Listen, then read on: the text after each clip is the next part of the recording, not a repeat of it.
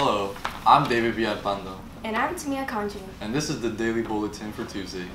Tomorrow, August 30th, girls varsity tennis versus Roosevelt High School here at 3:13 p.m. Also, freshman football versus Temescal Canyon here at 3:15 p.m.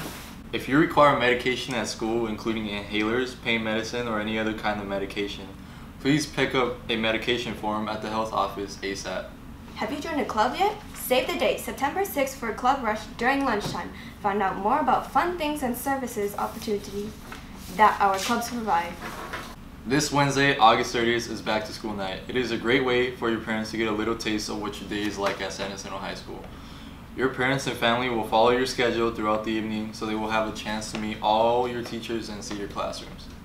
We will have information booths from the Parent Center, ELAC, and more on hand for parents. The evening begins at 5 p.m. with zero period and ends at 7:35 with six period.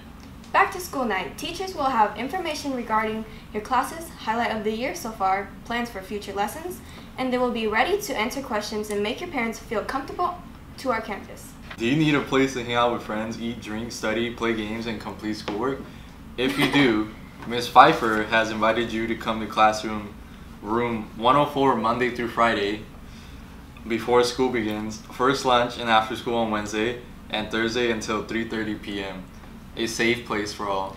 Teachers, there will be an instructional leader meeting today at 3 p.m. in room 227. And this has been the Daily Bulletin for Tuesday. Oh, bro, Miguel. Bro, watch this. I'm about to fry this, man.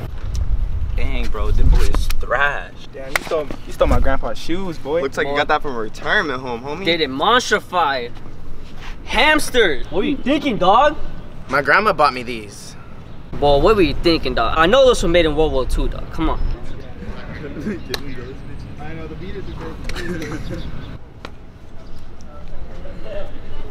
Oh, I know for a fact you can't breathe in them Hey, yo, jeans. chill. He might be going through something. I think them boys cool. You're literally wearing those.